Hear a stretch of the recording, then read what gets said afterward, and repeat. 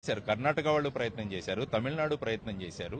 అప్పుడు అమృతరావు వచ్చి ఇక్కడ డిస్ట్రిక్ట్ కలెక్టర్ కార్యాలయం ముందు కూర్చుంటే అప్పుడు మొత్తం విశాఖపట్నం మొత్తం ఆంధ్రప్రదేశ్ మేల్కొని అప్పుడు ముఖ్యంగా విద్యార్థులు చాలా ముఖ్యమైన భూమిక పోషించారు ఇందులో. స్టీల్ ప్లాంట్ వచ్చిన తర్వాత మొత్తం విశాఖపట్నమే మారిపోయింది. అలాంటి నష్టాల్లో ఉంది స్టీల్ ప్లాంట్ తప్పకుండా ఇది డిస్మెంట్ చేయాల్సింది.